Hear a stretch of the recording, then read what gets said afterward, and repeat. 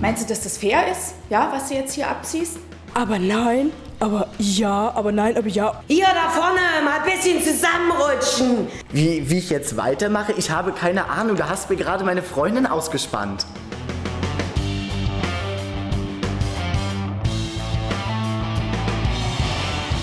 Ja, ich bin so ziemlich so ein Draufgänger. Und was ist denn dein erster Eindruck? Äh, war schon zukünftige Schauspieler dabei? Es waren ein paar Leute dabei, die schon ganz interessant sind, mit denen man sicherlich mehr arbeiten muss, um zu sehen. Aber es gibt schon ein paar Leute, die Potenzial haben, wo man sehen kann, dass man, da kann was daraus entstehen. Was ist ein Potenzial für dich? Wann, Potenzial. Wo, wann kriegt jemand oder wann hat jemand Potenzial? Ja, wenn jemand da sich vor der Kamera bewegen kann und natürlich ist und auch irgendwie, dass es ihm gefällt, dass es ihm Spaß macht. Es gibt durchaus extrem schüchterne Menschen, die plötzlich vor der Kamera äh, völlig befreit sind. Es gibt aber auch das Gegenteil. Es gibt Leute, die sehr gut kommunizieren, sehr gut sprechen und dann plötzlich vor der Kamera äh, ganz anders sind, so wie ich zum Beispiel. Ja.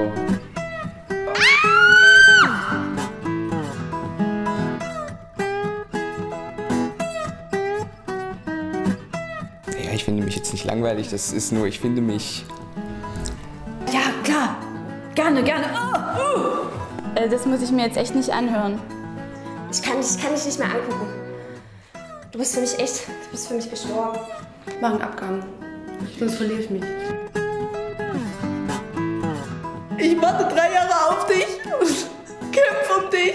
Und dann kannst du mir sowas antun. Es waren ja auch einige dabei, die schon Schauspielerfahrung haben, so in kleinen Rollen.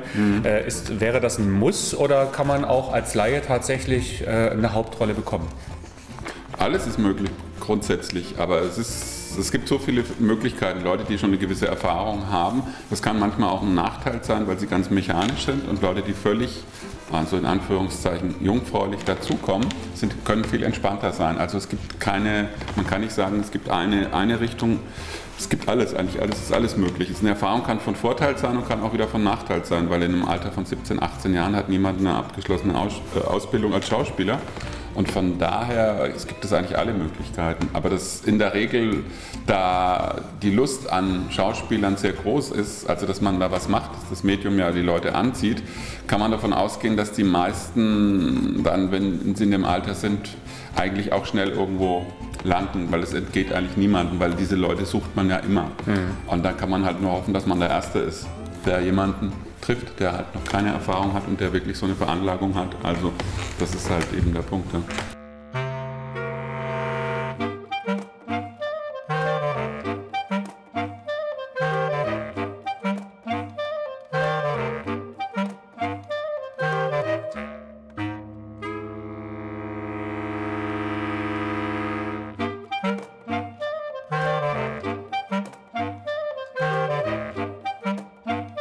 Und jetzt die entscheidende Frage, wann soll denn der Film stattfinden?